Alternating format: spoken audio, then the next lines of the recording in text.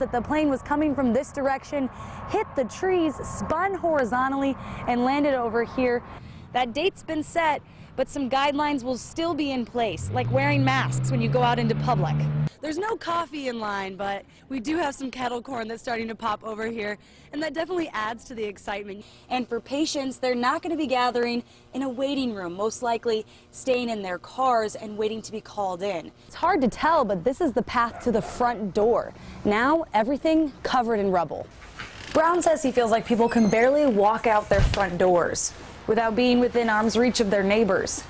The governor has made a lot of promises to voters. Tonight, we'll see for the first time if Kentucky can pay for it. New details this afternoon from the Madison County coroner reveal we won't know if this is or isn't Sheena Baxter until at least tomorrow. I'm, I'm traumatized, I'm not gonna lie. In about 48 hours, Sheena Baxter went from a missing mother to a missing murdered mother, and Georgetown police say remains found Tuesday in Richmond are hers. I mean, I have my moments where I break down and I'm thinking of the worst things, you know, and how she felt in the moment and we talked to Baxter's sister, Krista Crumley, outside of court before the body was even found. The Madison County coroner says it was wrapped in plastic at Inside Out Storage. That unit is less than two miles away from the home of Joseph Hicks, Baxter's ex. Hours earlier, Hicks was charged with her murder. He was already in jail. We have a uh, overwhelming amount of evidence indicating to us that a homicide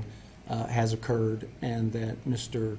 Hicks is responsible for that homicide. Baxter went missing on Valentine's Day from outside her sister's house. That same night, police say Hicks lied about being involved in an armed robbery, leaving him with a gunshot wound, which is now tied to Baxter's murder. Investigators confirm she and Hicks had been talking again. It appeared to be mutual contact.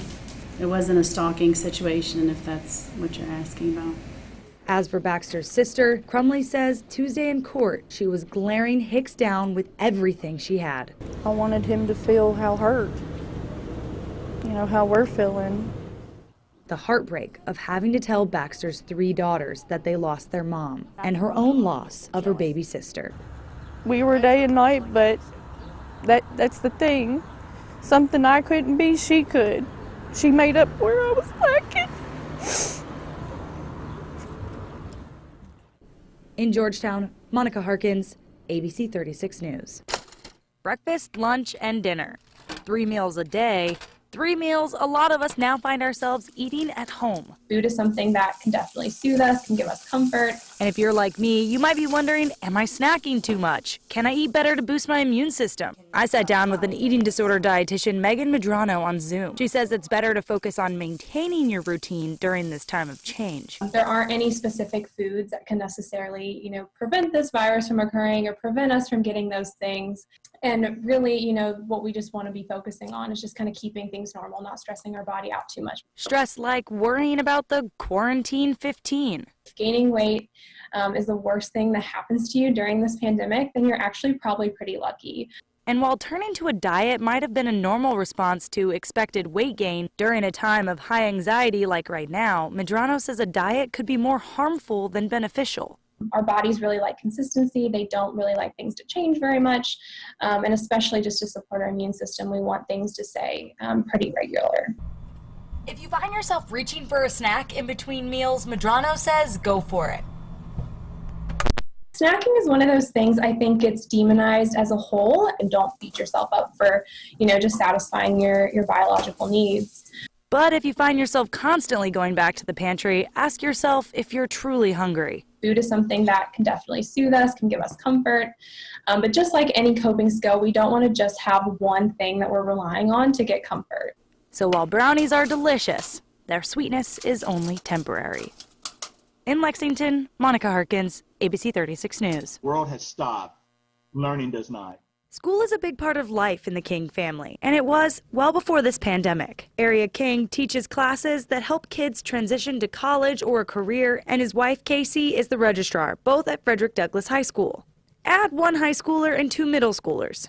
So you really do, like she said, you have skin in the game. Not that we, we had never been there before because we've always been involved with our students, with our children, not our students, our, our children. They are your students uh, now. yeah, exactly. So, you know, actually been a part of that you know, I think there's going to be a lot of good memories come out of this for them. More rural districts have used NTI, non traditional instruction, often for years. But in Fayette County, where snow days aren't as frequent, this is the first time Fayette County Public Schools have turned to NTI for instruction, something the Kings say is fitting for a non traditional time. NTI is very necessary. Initially confusing, now not not at all. Um, like I said, there were a lot of a lot of kinks worked out that first week. Understandably, that means mom and dad have to help out, especially when it comes to math. Yes. Lots yes, of it. Yeah.